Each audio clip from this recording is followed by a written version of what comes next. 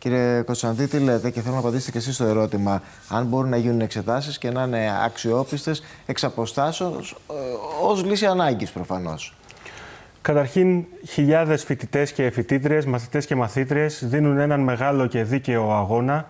Έχουν απορρίψει με συντηρητική πλειοψηφία το νομοσχέδιο της κυβέρνησης για την ίδρυση των ιδιωτικών πανεπιστημίων και διεκδικούν ένα καλό, ποιοτικό και σύγχρονο, αποκλειστικά δημόσιο και πραγματικά δωρεάν πανεπιστήμιο, με φοιτητικές αιστείες, καθηγητές και υποδομές. Διεκδικούν ένα σχολείο που θα μορφώνει πραγματικά και δεν θα εξοντώνει με τριπλές πανελλαδικές εξετάσεις, όπως αυτές που ετοιμάζεται να φέρει η κυβέρνηση με το Εθνικό Απολυτήριο σε επόμενο νομοσχέδιο. Και απορρίπτουν το πανεπιστήμιο που έχουν χτίσει όλες οι κυβερνήσεις μέχρι σήμερα, ένα πανεπιστήμιο της υποχρηματοδότησης και υποστελέχωσης, ένα πανεπιστήμιο που δεν ταιριάζει ούτε στις ανάγκες ούτε στους κόπου όλων αυτών των οικογενειών.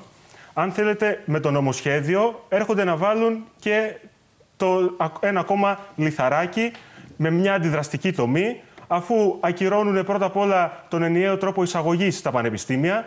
Οι πολλοί θα μπαίνουν με ελάχιστη βάση εισαγωγής πολλούς κόπους και θυσίες και κάποιοι λίγοι με ελάχιστη βάση πληρωμής και επίσης υποβαθμίζουν τα ήδη απαξιωμένα πτυχία, διαμορφώνοντα μια μεγάλη θάλασσα πτυχίων από τριετή, τετραετή, πενταετή και βάλε, έτσι ώστε τελικά να συμπιέζονται τα εργασιακά και επαγγελματικά Πείτε δικαιώματα όλων και γι' αυτό το κάτω που ρώτησα. Τις καταλήψεις, πού, βλέπετε να, πού βλέπετε να πηγαίνουν οι καταλήψεις, Εμείς βλέπουμε. Προς το τέλος ή θα έχουν συνέχεια; Εμείς βλέπουμε ότι η κυβέρνηση είναι σε πολύ δύσκολη θέση. Έχει ήδη χάσει, γιατί η πλειοψηφία των φοιτητών με όλους τους τρόπους έχει απορρίψει το νομοσχέδιο. Η τελευταία δημοσκόπηση δείχνει 70% των φοιτητών να αντιδρούν. Αλλά δεν χρειάζονται και οι δημοσκοπήσεις, αφού πλειοψηφικά οι φοιτητές και μέσα από μαζικές συλλογικές διαδικασίες με δημοκρατικό τρόπο απορρίπτουν αυτή την πολιτική.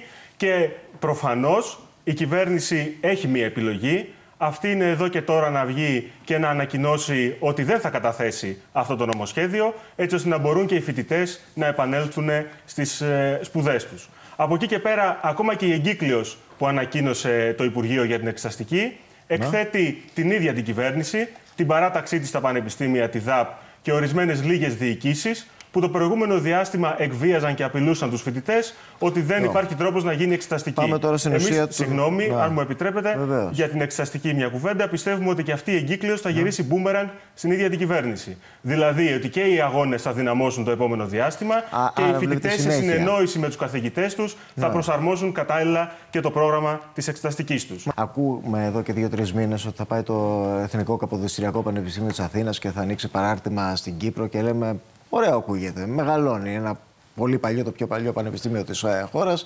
Βγαίνει να δώσει τεχνογνωσία ε, στο εξωτερικό. Μπορεί να ανοίξουν και θέσεις ε, για Έλληνες καθηγητές κτλ. κτλ. Άκουγα τον κύριο Σκιάσιο, τον νέο Πρίτανη, να λέει ότι υπάρχουν και άλλες σκέψεις, συζήτηση και με άλλες ευρωπαϊκές χώρες, ακόμα και με τις Ηνωμένες Πολιτείες, ώστε να ανοίξει παράρτημα το ΕΚΠΑ. Όταν το ακούμε για μας μέσα να κάνουμε εξαγωγή γνώσης και εκπαιδευτικού συστήματος, δεν έχω ακούσει κάποιον να κλωτσάει, να τσινάει που λέμε, να αντιδρά, να διαμαρτύρεται.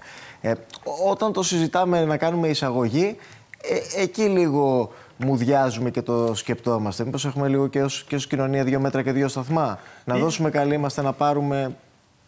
Ίσα ίσα, εμείς πιστεύουμε ότι η προτεραιότητα του Δημόσιου Πανεπιστημίου στη χώρα μας πρέπει να είναι τα εσωτερικά του.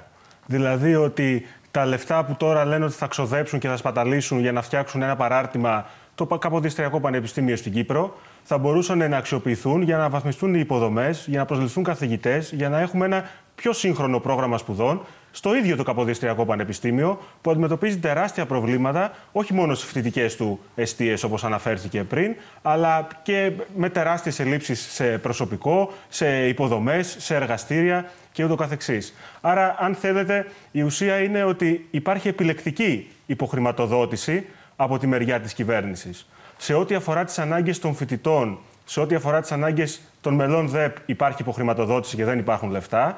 Σε ό,τι αφορά όμως την επιχειρηματική λειτουργία του Πανεπιστημίου και το άνοιγμα παραρτημάτων σε άλλες χώρες για να κερδοσκοπήσουν, εκεί μια χαρά υπάρχουν εκατομμύρια.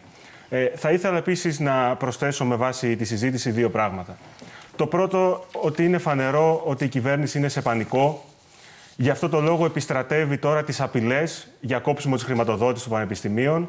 επιστατρέ, Έγινε μια επιστρατεύει. αναφορά χθες στην ΕΡΤ από τον Υπουργό Υγείας, τον κύριο Άδωνη Ακριβώς. Γεωργιάδη, και είπε ότι οι Πριτάνη, αν δεν κάνουν αυτά που πρέπει και να είναι ανοιχτέ σχολές, να γίνουν τα πανεπιστήμια, θα πρέπει να βρεθούν αντιμέτωποι είτε με συρρήκνωση είτε με κόψιμο τελείως Ακριβώς. των. Λοιπόν. Βεβαίως δεν είναι ο αρμόδιος υπουργός, είναι ο Υπουργός Υγείας ο κ. Σύμφωνοι. Γεωργιάδης. Αυτές οι απειλές έχουν πάρει ήδη απάντηση από τους φοιτητές. Όπως επίσης η κυβέρνηση είναι γελασμένη αν πιστεύει ότι με εισαγγελείς και ΜΑΤ θα μπορέσει να σταματήσει έναν μεγάλο και δίκαιο αγώνα.